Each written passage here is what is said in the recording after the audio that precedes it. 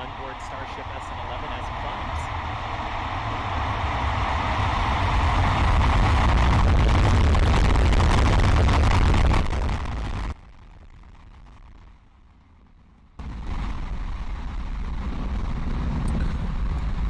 Oh, that's loud.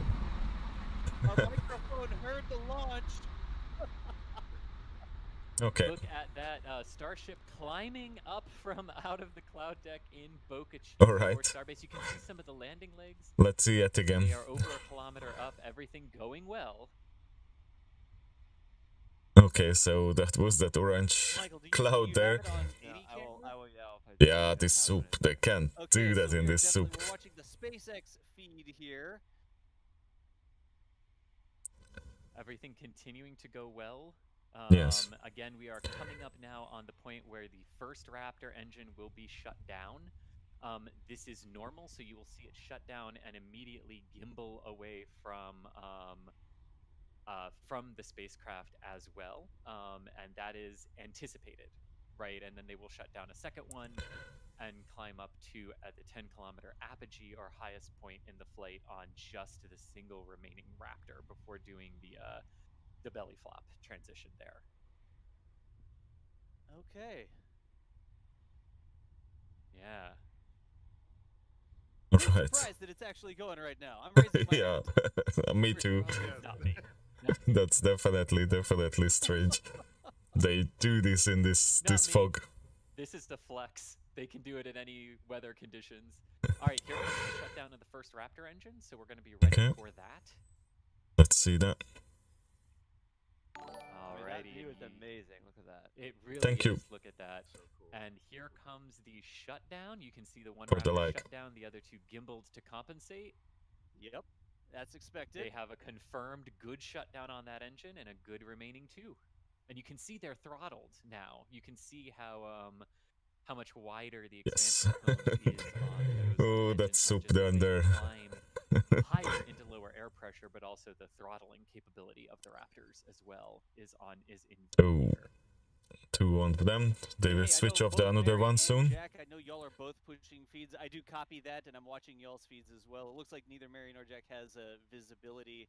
Um, Yeah. All of our cameras don't have visibility, so we are watching SpaceX's on vehicle cameras here, y'all. Looking down at the plume and the cloud cover, the, the fog layer. Yes, completely, like, just launched Can't see the ground. How they will land in this? Seven kilometers in altitude, so they are continuing the ascent on two engines. All is well, right now.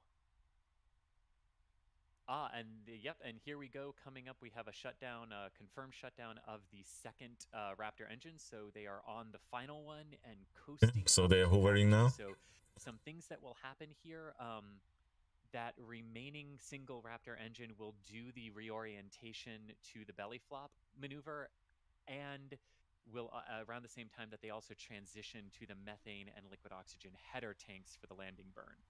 Um, and that will happen right around the same time that Starship reorients to um, uh, to its belly flop orientation. And it looks like SpaceX there has lost And they- uh, vehicle video. Yes. So we're gonna look at a palm tree, and I'm watching. As soon as we get video Palm tree. SpaceX, we'll be back on. Come on, I want to see this. Yep. So they Cheap. are experiencing dropouts on the onboard cameras. Starship is at altitude at 10 kilometers and is um, hovering and beginning the reorientation maneuver now.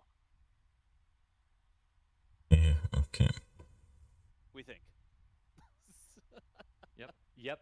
Telemetry shows that the reorientation has occurred and we are belly flopping back to the ground. So Nothing is visible. you are just Nothing. us- okay, and here come the. Only the palm tree. All right, here comes the um, cameras back again.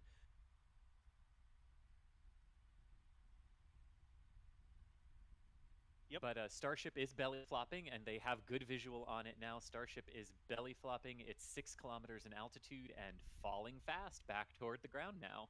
You can see the aero surfaces moving there, and those vapors are from the engine section. This is impressive. Look at this. Look how it rolls Yeah, itself. not much visible. You can tell it's horizontal because there's blue sky above and then fog and clouds below.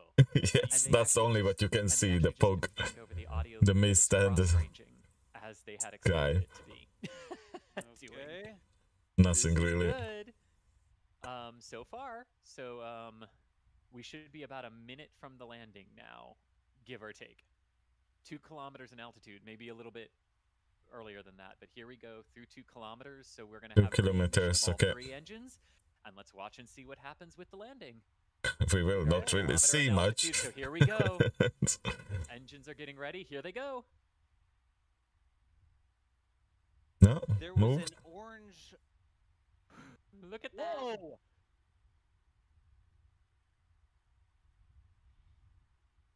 Stopped.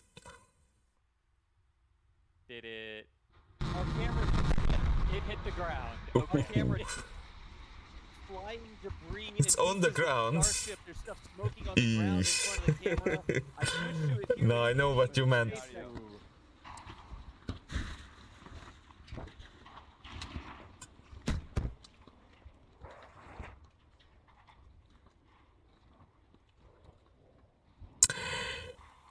There is debris actively raining around the camera. You can hear it on the mic.